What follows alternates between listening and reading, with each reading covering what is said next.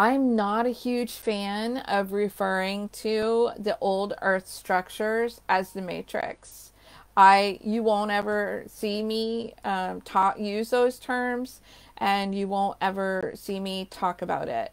Um, I have different references and different um, perspectives when it comes to humanity's evolution, and I think it distorts it to liken the current ascension path we are on to um, a movie with, um, you know, like good guys and bad guys. Like I, none of this resonates from what I've been taught, uh, and so you just won't see me ever reference it.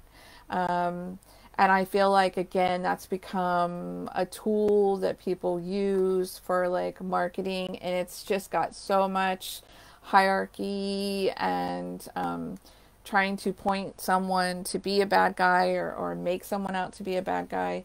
My perspective on humanity's evolution reminds me, and again, I came from like the classroom setting.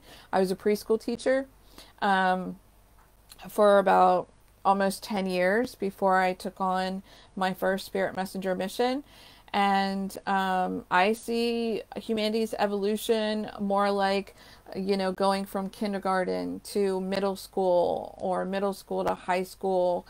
I feel like sometimes I feel like uh, in Earth School, I feel like I'm, uh, you know, I might be a senior in high school at this point or, um, you know, college student because I feel like I'm I'm aiming to master. I'm I'm aiming to master uh, this idea of evolution and ascension so that I can understand it better.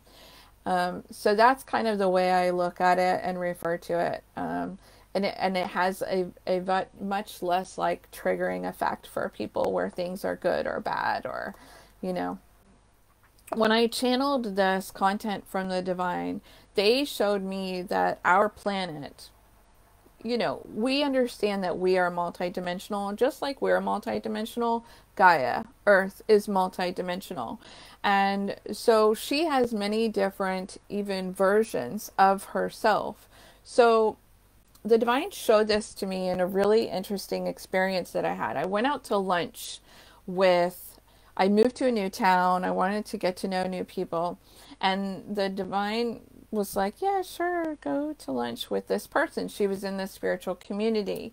And we spent the day kind of touring some different spiritual shops, having spiritual conversations, realizing and noticing like what we have in common. And we ended up out to lunch. And while she and I were sitting there, she was talking about how her experience on this planet requires her to have like a shield and a sword and she very much resonated with being like with this this warrior and having to like fight the dark. And and I remember just sitting there at the table because that's not my experience at all. Like it's not my experience like not at all is that my experience. And I realized as she's saying it you know, I got to fight to survive out here. Every day I'm under attack. Like, as she's saying it, I can tell that she's creating it in some way. But in other ways, she's tapping into lower frequency versions of Earth our earth has lower frequency like a mid and a higher frequency. And when you're in a space like that where that warrior got to fight to survive and you know people are trying to attack me you're gonna your frequency is gonna connect. It's going to match those lower realms those lower vibrations. And then the reality that you're that you're in the one that you're creating is just going to be more of that, more of that. And I feel like I had already, my heart had already gone through, you know, um, an ascension process in my awareness where I live a life of, and my son has had cancer twice. So I have to search for the joy. I have to find find seek the gratitude sometimes. Um, i'm not saying nothing negative ever happens but it just happens and then we move on from it. That's my reality.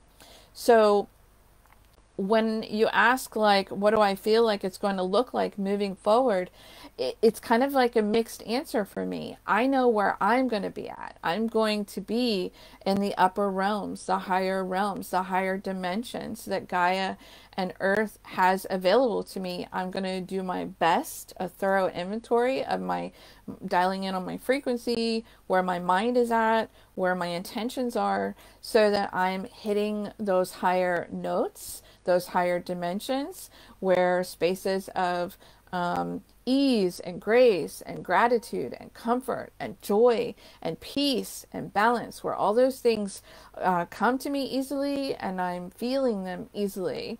If I decide to wake up tomorrow and focus on how and concentrate, I mean, really concentrate um, how negative things are. Um, I will, I know I will slide and dip into those lower realms, those middle realms of earth. And and there's a lot of dysfunction there. There's a lot of distortion there. And there's a lot of dis-ease in there. And there's a lot of heartache in there.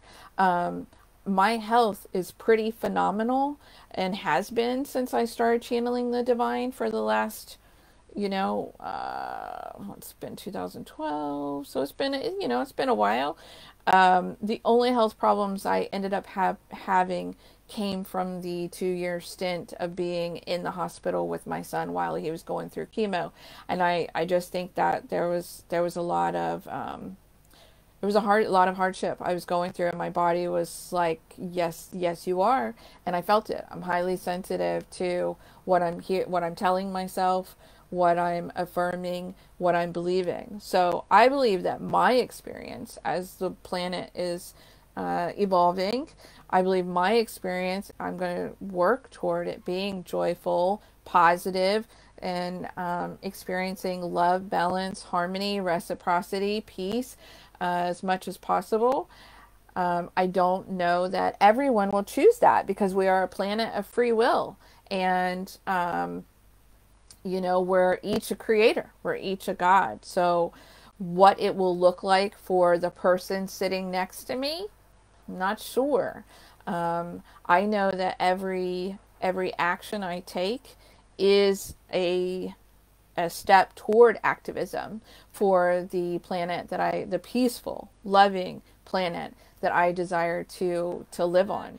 What do you believe is the best way to try to hit those higher frequencies for someone that is new to discovering their gifts, it can be overwhelming and confusing. Definitely. I love this question. Um, the divine, I know it sounds like you see this in every, like, you know, Disney movie almost. Um, truly let your heart be your guide. Whether you're talking about um, New Earth navigation or you're talking about your guidance, your intuition, let your heart be your guide is like number one. And that's that's another reason why the whole matrix thing doesn't vibe for me because where in the matrix are we talking about your heart being your guide? Um yeah so definitely like getting comfortable tuning in and mastering that conversation. And this can be either with soul self like soul, it can be higher self, it can be source, because none of those three are going to steer you wrong. Um, source, soul, self. If these, if any of these that you're comfortable with are your like uh, points of connection for conversation, contemplation, um, you're you're always going to go in the right direction that serves you best. Thank you so much for checking out this video today. Be sure to like the video, share, subscribe to my channel. And if you really had a wonderful experience on this video, I invite you to share your reflections in the comments section. I love reading those. And if you would like to explore some more of my juicy magic and medicine, please visit my website at newearthmagicschool.com and register for my email list. I've got some things that you're going to love exploring.